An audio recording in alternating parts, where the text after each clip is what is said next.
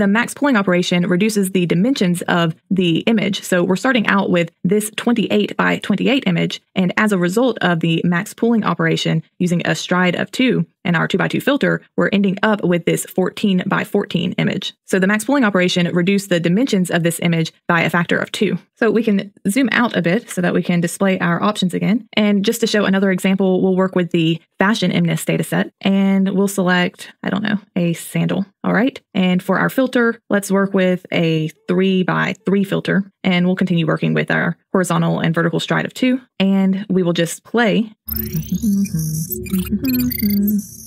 Mm-hmm. so this is the final output of applying the max pooling operation with the 3 by 3 filter and a vertical and horizontal stride of 2 to this image of a sandal. So we still have this representation of a sandal here, but now with just using the max values of the 3 by 3 filter that we traverse our input with.